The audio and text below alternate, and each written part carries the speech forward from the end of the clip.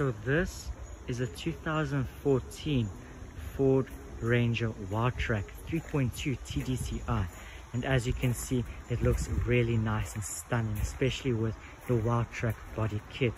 You do have your beautiful orange paint paired with 20 inch alloy mags and they are aftermarket mags.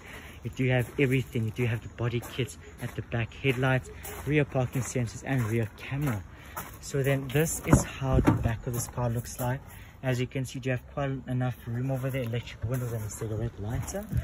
And then this is the interior of this car. And as you can see you do have your very beautiful seats over here with the orange line right over there.